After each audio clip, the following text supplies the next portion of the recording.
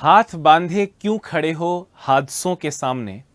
ये हादसे भी कुछ नहीं आपके हौसलों के सामने। मेरे प्यारे दोस्तों आशा करता हूँ आपके जीवन में सब अच्छा चल रहा होगा आपका स्वास्थ्य अच्छा होगा और आप पढ़ाई के लिए मोटिवेटेड होंगे। बहुत समय से आपको जिस वैकेंसी का इंतज़ार था यानी ग्राम विकास अधिकारी की वो फाइनली प्यारे दोस्तों ऑफिशियल नोटिफिकेशन उसका आ चुका है। फॉर्म भरने की तिथि कौन फॉर्म भर सकते हैं क्वालिफिकेशन एज क्राइटेरिया सब कुछ आपको अगले दो से पाँच मिनट में मैं आपके सामने सब कुछ बताने वाला हूँ। लगातार वीडियो के साथ बने रहिएगा। मेरे प्यारे दोस्तों अभी कुछ आ, देर पहले ही ये नोटिफिकेशन आउट हुआ है वेबसाइट जो अपने अधीनस्थ बोर्ड की है R S R S R S M S S B dot G O V dot Rajasthan dot G O V dot in पर, और 3896 पोस्ट्स की घोषणा की गई है, जिसमें से 3200 समथिंग नॉन टीएसपी हैं, शेष टीएसपी होंगे। आवेदन की तिथि भी घोषित है। आवेदन आपको ऑनलाइन करना होगा। आवेदन की तिथि है 10 सितंबर से लेकर 9 अक्टूबर, यानी एग्जैक्ट 30 दिन का टाइम आपको दिया गया है इस फॉर्म को भरने के लिए। ज़्यादा इंतज़ार मत कीजिएगा। लास्ट के दिनों में वैसे भी वेबसाइट थोड़ी सी स्लो चलती है, सर्वर बिज़ी हो जाता है तो जितना जल्दी आप फॉर्म भरें, एक चैप्टर क्लोज होगा और फिर अपनी पढ़ाई में लग जाइए। मेरे प्यारे दोस्तों, परीक्षा तिथि, अब देखें सबसे पहला जो चेंज किया गया है, जो बड़ा चेंज किया गया है जो बड़ी इंफॉर्मेशन है वो ये है कि इस बार परीक्षा दो चरणों में होगी। पहले, पहला सिर्फ़ क्वालिफाइंग एग्ज़ाम होगा, जिसमें पंद्रह गुना लोगों को सेलेक्ट किया जाएगा, उसके बाद में मेंस होगा, जिसके मार्क्स के तहत मेरिट लिस्ट बनेगी। मेरे प्यारे दोस्तों फॉर्म भरने की जो फ़ीस है, वो जनरल की ओबीसी की एमबीसी की साढ़े तीन सौ रुपये है नॉन क्रीमी लेयर की। सामान्य और ओबीसी की तो साढ़े चार सौ रुपये है ओबीसी एमबीसी ईडब्ल्यूएस की साढ़े तीन सौ एससी और एसटी तथा विशेष योग्यता वाले आ, हमारे छात्रों के लिए ढाई सौ रुपये की फ़ीस फॉर्म की फ़ीस है। अब जैसा कि मैंने आपको बताया मेरे प्यारे दोस्तों ग्रेजुएशन होनी चाहिए। अब यहाँ पे एक बहुत इंपॉर्टेंट चीज़ बताने वाला हूँ कि जो फाइनल फाइनल ईयर वाले मेरे दोस्त हैं अपियरिंग वाले जो मेरे दोस्त हैं, वो भी फॉर्म भर सकते हैं, क्योंकि इसकी चयन प्रक्रिया थोड़ी लंबी चलेगी। दो चरणों में एग्ज़ाम है, उसके बाद जाके डॉक्यूमेंट वेरिफिकेशन होगा। तो मुझे लगता है दो एग्ज़ाम्स का रिज़ल्ट और फिर उसके बाद डॉक्यूमेंट वेरिफिकेशन तो डेफिनेटली अभी जो फाइनल ईयर के स्टूडेंट्स हैं, वो भी अप्लाई बहुत ईजिली कर पाएँगे और अगर वो अच्छे से मेहनत करते हैं सेलेक्ट होते हैं तो क्योंकि वो फाइनल ईयर के हैं, इसलिए कहीं पे अड़चन आएगी, मुझे लगता है ऐसा कुछ नहीं होगा। साथ ही साथ मेरे प्यारे दोस्तों R S C I T या डी ओ सी द्वारा कोई भी सर्टिफाइड कंप्यूटर कोर्स आप कंपलसरी इसमें रखा गया है। राजस्थान वाले आप लोग हैं तो आर एस होना चाहिए। अगर आपको ये फॉर्म भरना है ग्रेजुएशन साथ में अपियरिंग वाला भाई भी फॉर्म भर सकता है। अच्छा अब सामान्य वर्ग। भैया एज की अगर बात करें तो 18 से 40 जो कि अधिकतर परीक्षाओं में हमें देखने को मिलता है। सबसे इंपॉर्टेंट चीज़, सारी कैटेगरीज की छूट है, जो पहले मिलते आई हैं, कि एस टी का पाँच साल का छूट है जनरल में महिलाओं को पाँच साल की छूट है एस टी एस सी महिलाओं को दस वर्ष की छूट है।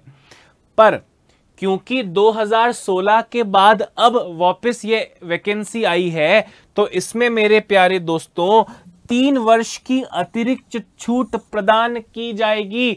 मतलब जनरल के लिए भी इट इज़ 40 प्लस थ्री जिनको पाँच साल की छूट मिली है, उन्हें 43 प्लस फाइव की। जिन्हें पाँच साल की, दस साल की छूट मिली है, उन्हें 43 प्लस दस की छूट मिलेगी। इज़ दैट क्लियर आपने बोला हाँ सर तो सबसे बड़ी इंफॉर्मेशन ये थी मेरे प्यारे दोस्तों। उसके बाद, दो चरणों में परीक्षा होगी, मैंने आपको बताया, प्रारंभिक परीक्षा और मुख्य परीक्षा। प्रथम चरण में प्रारंभिक परीक्षा का आयोजन किया जाएगा। प्रारंभिक परीक्षण केवल क्वालिफाइंग इन नेचर पास होना है। पास होना है। पंद्रह गुना लोगों को पास किया जाएगा। पास होना है। मार्क्स नहीं जुड़ेंगे। अगर जितनी सीटें मैंने बताई आपको, उससे पंद्रह गुना में आपका नंबर आना चाहिए। चाहे वो आप जस्ट उससे क्लियर हुए हो या बहुत अच्छे मार्क्स आए हो मैटर नहीं करेगा। प्रारंभिक परीक्षा का आयोजन संभवतः दिसंबर 2021 में किया जाएगा। ऐसा भी लिखा हुआ है एक्सपेक्टेड टेंटेटिव डेट जो है वो दिसंबर की है।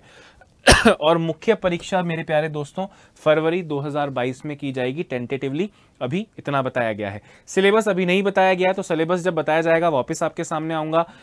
पर मोटा मोटा अगर देखा जाए तो सिलेबस आपको पता है, राजस्थान जी के, इंडिया जी के, करंट अफेयर्स, मैथ्स, रीजनिंग तो आप पढ़ाई चालू कर दीजिए। आप पटवारी का एग्ज़ाम दे रहे हैं, आप इस एग्ज़ाम के लिए रेडी हैं। आप एसआई का एग्ज़ाम दे रहे थे, आप इस एग्ज़ाम के लिए रेडी हैं। तो आप आधी अधूरी पढ़ाई तो आप में से ज़्यादातर लोगों की ऑलरेडी किसी ना किसी बहाने, किसी ना किसी और एग्ज़ाम के माध्यम से चली रही होगी। तो सिलेबस का अगर आपने अब वेट किया मेरे दोस्तों तो आप बहुत महत्वपूर्ण समय खो देंगे और मुझे डेफिनेटली लगता है कि टाइम को खोना आप नहीं चाहेंगे। साथ ही साथ मेरे प्यारे दोस्तों ग्राम विकास अधिकारी भर्ती की प्रारंभिक और मुख्य परीक्षा की स्कीम और विस्तृत पाठ्यक्रम आपको अलग से उपलब्ध करवाया जाएगा। आरएसएम, एसएसबी बोर्ड द्वारा, जैसा कि मैंने आपको कहा, जब भी वो आएगा, मैं आपके सामने वापस ज़रूर आऊँगा और आपको सब चीज़ें बताऊँगा। अब इच्छुक अभ्यर्थी ऑनलाइन आवेदन से पहले पूरा नोटिफिकेशन पढ़ लें कमेंट बॉक्स में और नोट और डिस्क्रिप्शन में एक लिंक दिया जा रहा है, उसमें आपको पूरा नोटिफिकेशन मिलेगा। जैसा कि मैंने आपसे कई बार कहा है अलग अलग मौक़ों पर जब मैं आपके सामने आता हूँ, मैंने आपसे कहा, उत्कर्ष, चाहे परीक्षा कोई भी हो, जब तक तोड़ेंगे नहीं, तब तक छोड़ेंगे नहीं, उत्कर्ष हर मौके पर आपके साथ खड़ा है, फिर चाहे वो ऑनलाइन माध्यम हो, चाहे वो ऑफलाइन माध्यम हो। तो डिस्क्रिप्शन में एक और लिंक साथ में आपको दिया गया है जो कि सीधे आपको उत्कर्ष ऐप पर ग्राम सेवक अधिकारी के ऑनलाइन कोर्स तक आपको पहुँचा देगा।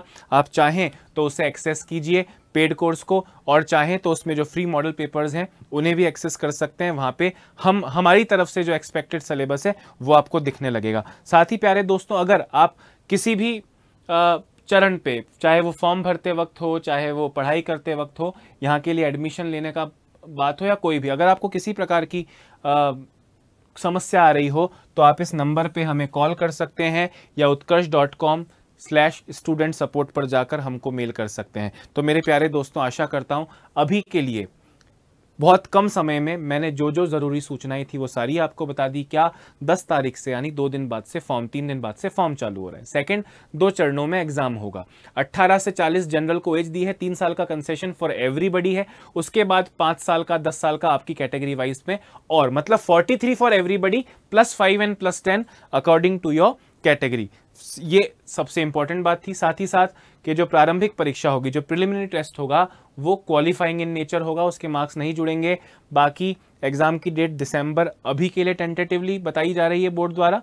फ़र्स्ट फ़ेज़ की प्री एग्ज़ाम की दिसंबर और मेंस की फेबररी टेंटेटिव है. सिलेबस और पूरी स्कीम कौन सा सब्जेक्ट कितने मार्क्स का आएगा, किस सब्जेक्ट के कितने क्वेश्चंस आएँगे, कितने भाग का परीक्षा होगा, वो सब आपको बोर्ड द्वारा जल्द ही सूचित किया जाएगा और जैसे ही बोर्ड सूचित करेगा, मैं आपके सामने उसे समझाने ज़रूर आऊँगा। इस उम्मीद और वादे के साथ अभी के लिए इतना ही। लग जाइए पढ़ाई में, क्योंकि जो सोवत है वो खोवत है। तो आप खोना नहीं चाहिएँगे नहीं चाहेंगे। मुझे ऐसी पूरी आपसे उम्मीद है, आपसे आशाएँ हैं कि इस बार परीक्षा में आप ज़रूर सफल हो जाएँगे। तो नमस्कार, अपना ध्यान रखिए, स्वस्थ रहिए, खुश रहिए। Bye bye have a nice day